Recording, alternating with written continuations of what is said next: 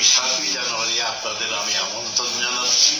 আপনারা সবাই ভোট কেন্দ্রে এসে আপনাদের মূল্যবান আমানত, ভোটটা প্রদান করবেন আমাকে। আমার জীবনের এই শেষ সময় তাদের কাছে আমি ভোট প্রার্থনা করছি।